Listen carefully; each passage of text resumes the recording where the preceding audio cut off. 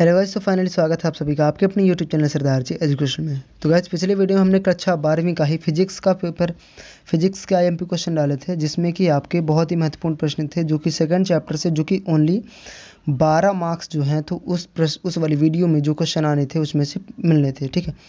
तो अगर अभी तक आपने फिजिक्स का वीडियो नहीं देखा है, वो आई एम नहीं देखा आपने तो उसे जाके ज़रूर देख लो। क्योंकि आपके ब्लूप्रिंट के हिसाब से जो भी आपके क्वेश्चंस आने हैं, जिस भी जिस भी नंबर के, एक नंबर दो नंबर तीन नंबर चार नंबर पाँच नंबर उसी आधार पर, उस फिजिक्स का हमने डाला था और इसी आधार पर आज की इस वीडियो अपन केमिस्ट्री का डालेंगे। केमिस्ट्री का बताएँगे तो इन प्रश्नों को ध्यानपूर्वक अच्छे से समझिएगा, क्योंकि ये प्रश्न बहुत ही ज़्यादा इंपॉर्टेंट है और आपको इस वाले चैप्टर से ये क्वेश्चन ज़रूर से ज़रूर स्टडी कर लेना है आपके एग्ज़ाम्स की तैयारी के लिए। तो चलिए फिर शुरू करते हैं आज की वीडियो को। ठीक है? तो देखिए सबसे पहले देखिए आप पहला सबसे पहला क्वेश्चन जो कि आपका जो पा, पाँच नंबर का के दो नंबर दूसरे चैप्टर से आने वाला है तो एक दो नंबर का आएगा एक तीन नंबर का आएगा तो इस तरीके से आपको क्वेश्चन आएँगे तो इस तरीके से हमने को आपके लिए क्वेश्चन तैयार किया। तो सबसे पहला जो है तो निम्न में से अंतर लिखना आपको डिफरेंस लिखने के लिए आ जाएगा जैसे कि पहला डिफरेंस का हो जाएगा परासरण तथा विसरण में आदर्श अनादर्श में डिफरेंस मोलरता मोरलता में धनात्मक तथा ऋणात्मक विचलन में ठीक है? तो इन चीज़ों में डिफरेंस आपको याद कर लेना। बहुत इंपॉर्टेंट क्वेश्चन है, ठीक है बेटा? बार बार मैं रिपीट कर रहा हूँ यही चीज़ कि ये इंपॉर्टेंट क्वेश्चन है तो इनको पढ़ लेना। फिर समझाने के लिए बोलेगा मोलंस मोललता, मोरलता, नॉर्मलता और पीपीएम सांद्रता, ठीक है? तो इन क्वेश्चन को हंड्रेड आपको पढ़ लेना है। या आपसे दो या फिर तीन नंबर का क्वेश्चन पूछेगा ही पूछेगा। ये टॉपिक आपसे पूछेगा ही पूछेगा। फिर अगला देखिए, निम्न को समझाइए। देखिए, अब इनमें समझाने के लिए क्या क्या है? विलेयता संबंधी हिंदी का नियम लिखिए, ठीक है? विलेयता संबंधी हिंदी का नियम ठीक है, हिंदी का नियम आपको पढ़ लेना राउल्ट का नियम पढ़ लेना है, और परासरण दाब के मापन की बर्कले बर्कले हर्टले विधि, ठीक है?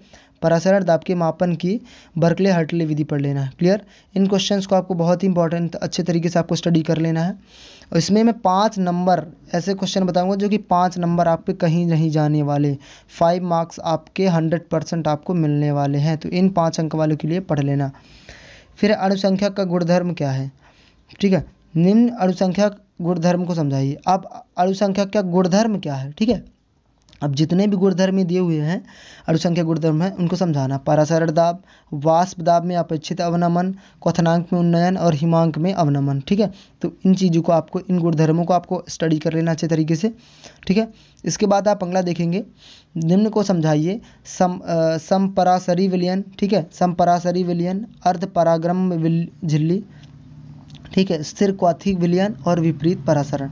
तो ये जो क्वेश्चन हम बता रहे हैं ना, ये क्वेश्चन बहुत इंपॉर्टेंट है। दो नंबर अब तीन नंबर वाले प्रश्न आप देखिए, जैसे कि किसी विलय में, एक किसी विलय की मोललता और क्वथनांक में संबंध स्थापित करना, किसी विलय की मोललता और क्वथनांक में संबंध स्थापित करना है। बहुत इंपॉर्टेंट क्वेश्चन है बेटू।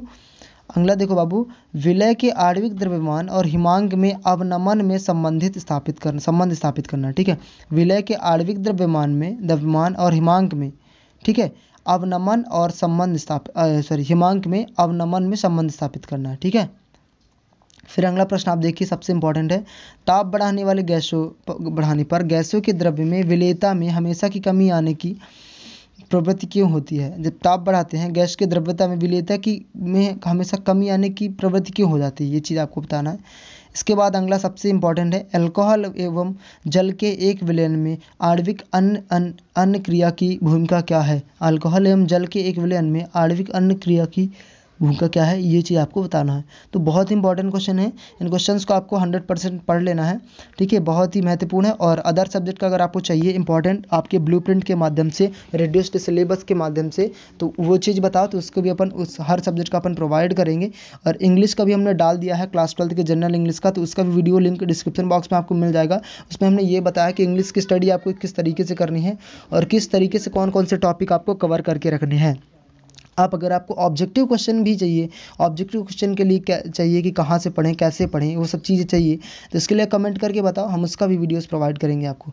सो बस उम्मीद करता हूँ इस वीडियो के माध्यम से आपकी हेल्प हो पाई होगी। वीडियो अच्छी लगी हो तो लाइक करिएगा चैनल को सब्सक्राइब करना बिल्कुल भी मत भूलिएगा। टेलीग्राम पर हमें जुड़ जाइए हम, हमारे टेलीग्राम के चैनल पर आपको स्टडी मटेरियल पाने के लिए।